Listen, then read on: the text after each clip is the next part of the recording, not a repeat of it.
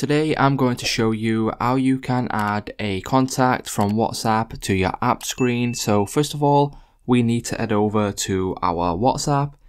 And then once we open up WhatsApp, what we need to do now is we need to click on the person that you want to add to your home screen. So for, for example, if I click on this person and then click on the three dots in the top right hand corner, this will bring you to this option right here where you can then click on more.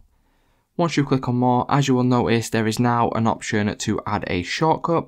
If we click on this, that will bring up this pop-up box right here, where you can then click on add to add this to your app screen. So that's how easy it is to add a WhatsApp contact to your app screen.